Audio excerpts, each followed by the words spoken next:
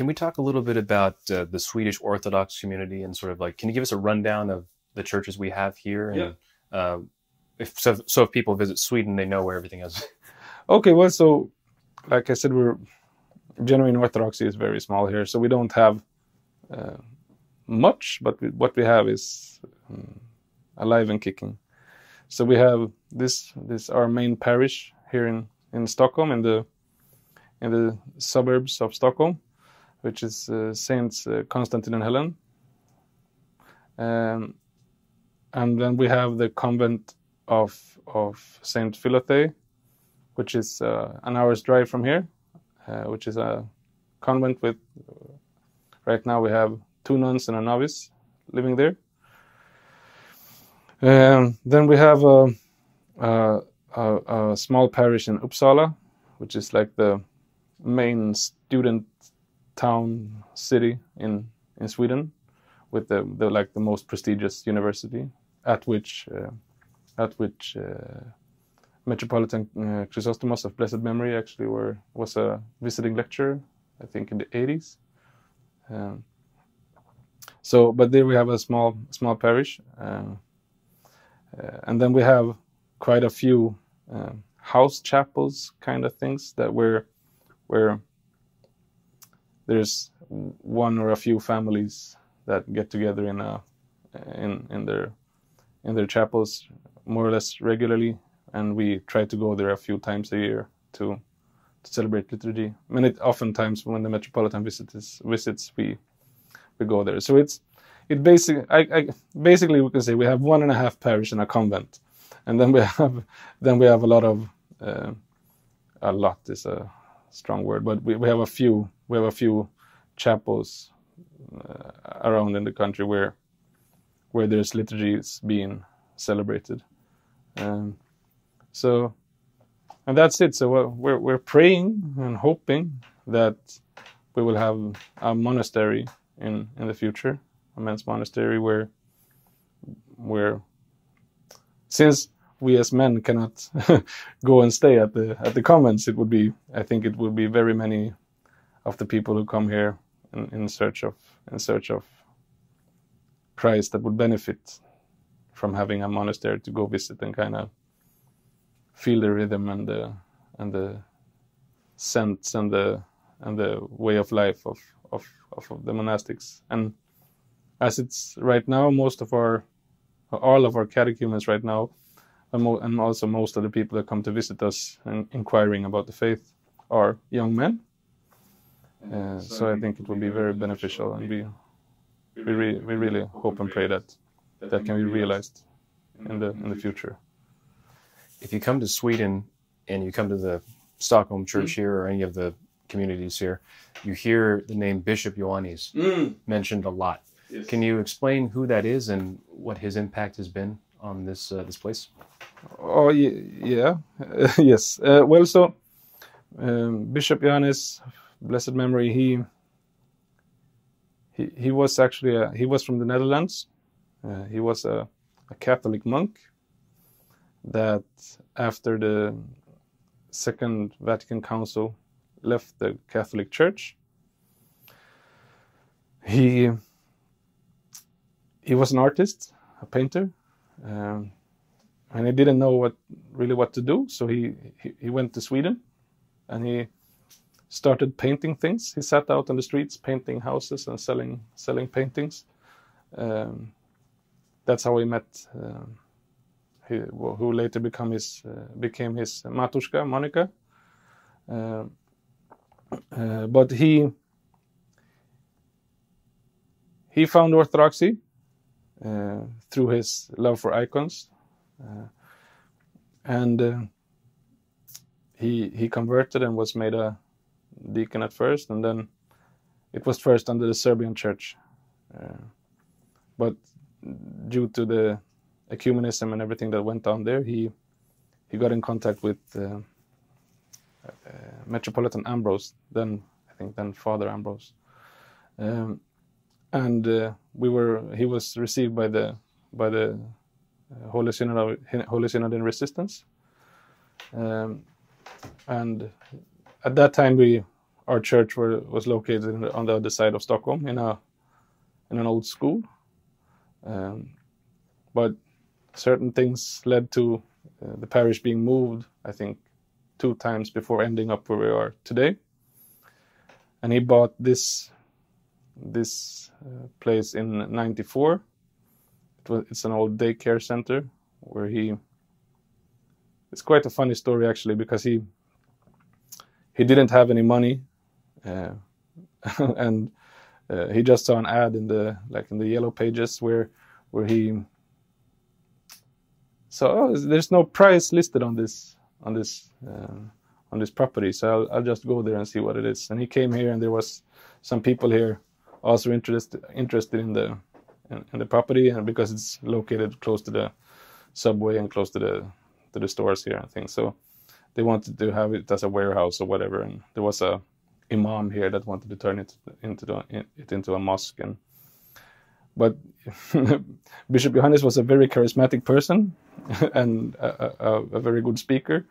So he, he, he held this speech and told him that this is going to be a church and it's for the glory of Christ and whatever. And he, he, he convinced all the other ones, other, other one, other, all the other um, people who were interested that it's best that he have it.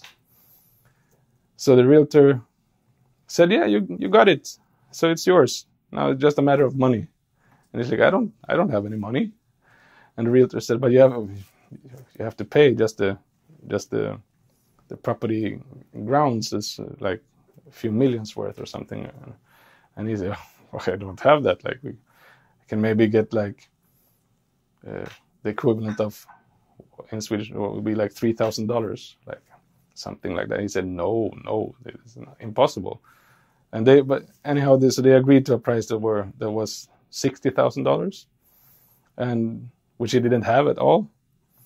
And he went he went home and uh, and prayed and kind of wondered what what will happen with this and and the, just the day after, a few days after, he got a phone call from his brother in in the Netherlands, saying, "Hey, you know, you know that we, we you have some old inheritance money from our parents." And he's like, "Really? How much is it?" He's like, "It's sixty thousand dollars. I just I just sent it over." And he said, oh, "Glory to God!" So he, he he got the money and went went and paid for the building, but it was very run down. So they uh, the the parish spent a few years renovating and and creating a church. Uh, so we built a dome and uh, set set pillars and things to to, to make it proper and painted all, all of the icons were painted here by not all but the majority of the icons were painted here by the bishop and by his apprentices or students and it was uh, consecrated in 98 uh, so first service in 98 and then then uh, but the bishop then father father johannes at that time he his uh, matushka she she unfortunately unfortunately passed, and he became a monk and then became a archimandrite and then became a bishop. Uh, and in his later years, and unfortunately he he had some accidents. He broke his back and had some more injuries on the way. So he was bedridden for I think ten years, and was cared for here in the bishop's residence, where the room next to where you're staying. Um, and he passed in 2020 uh, here in the in the church, and he's buried now in the right behind the behind the altar, uh, in one of the few one of the few um, graves outside a burial ground in in the whole of Stockholm that's uh, been been uh, uh, given well the, it's like a few places since in in the whole of Stockholm the last hundred years or so that where we could actually have buried someone outside a cemetery. So yeah, we're we're very happy to have him have him close, and yeah, there's uh, there's many stories about Bishop Johannes, very very very many stories. Uh, I would imagine that uh, you didn't think you probably didn't think you'd become a, a, clergyman at least this quickly, at the very least, you know. No. Actually, my first visit in inside the church, one of the priests one of the first things he said to me was, you know that you will become a priest in this church, right? And I said, yeah, yeah, right. That's one of the first things he said. Yes. uh, so, uh, yeah, I I wouldn't say it prepared me, but it, and it, because I I've been in other uh, like the other uh, churches I've visited and things where I where there has came offers of me becoming a pastor and things like that, and I've always refused strongly. Um, so, and I thought it was joking. I mean, I think he was joking, but, but, but, but, but now in looking in the rear view mirror, it's it's a it's a bit prophetical at least. Uh, I mean, in some sense, uh, I don't know if he he he knew somehow, but but yeah. So from from my first visit inside the church, I I got told there was a it was a big leap for me to actually step into an step into an Orthodox church. It took some time for me to gather the courage. I guess I I knew somehow that I wouldn't be able to leave, uh, and it came with some things like most of my, or I was it all of my friends from my past life has decided to to stop being in contact with me because of my conversion. Or because I don't know if it's because of it because of it in that sense but I spend so much time in church and uh, with parish related things and yeah. I guess I wasn't a funny friend anymore so so yeah I, I guess I knew that would happen. And as I said coming from a Protestant background many of the things we do were uh, my friends still consider me a consider me some some kind of heretic idol worshiper all of these uh, icons. And first of all it, it, it's a fuller life. It's or it's maybe it's it's maybe the only thing that you could start calling life. So so it's worth every piece of worldly sacrifice that you would ever have to make. But it's just always it's it's the small things it's the, it's the simple things. Like like fika it's a very common thing in Sweden I guess it also in the states or in the, in the world at, at, large that like after work especially on a Friday you go out and have a beer. It's no not not drinking parties just to have a beer or two right but as an Orthodox Christian I'm fasting on Fridays I, I won't I won't go have a beer with you I will be home praying preparing for liturgy um, so a lot of these things that for you as a person might be mm, not feel, won't feel like a big sacrifice. It will kind of exclude you from the from the natural social environments where you, where you have uh, been maybe your whole life. Uh, and as I said, you would um, end up maybe losing friendships that you've had for a long time, and because um, you will find things in life that's more important. And so, I mean, the advice I would give is that run run into it with your head first. like, it's very hard to be. I think it's very harmful as well. But if you don't do it with your whole, with your whole heart, with your whole being, you will end up kind of disappointed because you will you will still have, end up having to sacrifice a lot of things. Like you, especially like people who want to go out and party, or I don't know, on Saturdays, it's it's an impossibility. We, we um, you will you will have to kind of choose your environments a bit more carefully, uh, and so run into it headstrong and and try to try to embrace it. And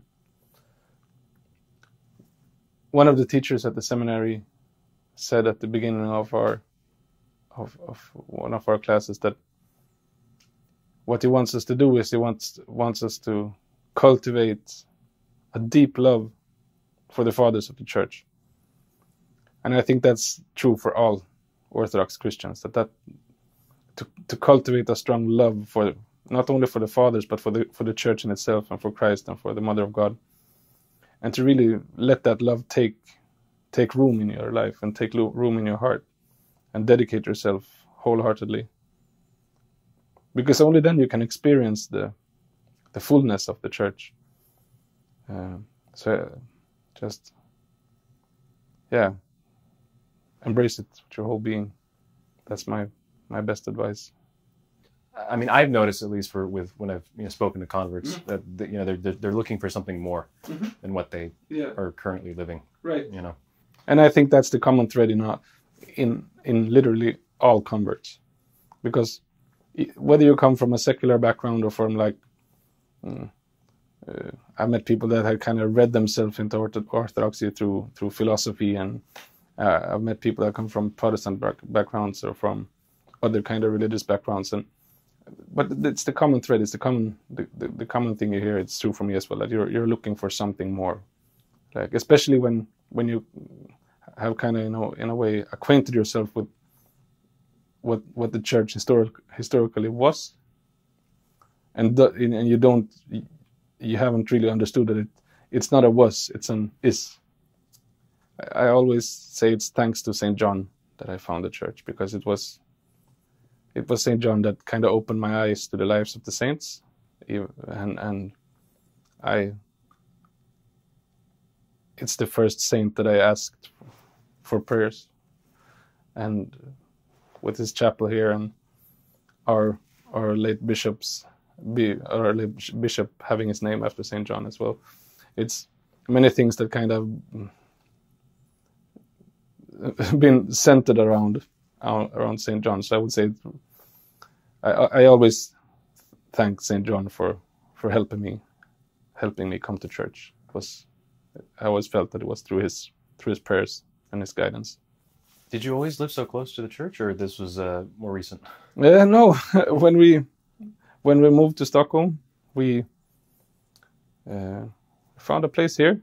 We didn't. That was before church, uh, so we didn't know. But as you know, the church is right next to the to the mall here where we live.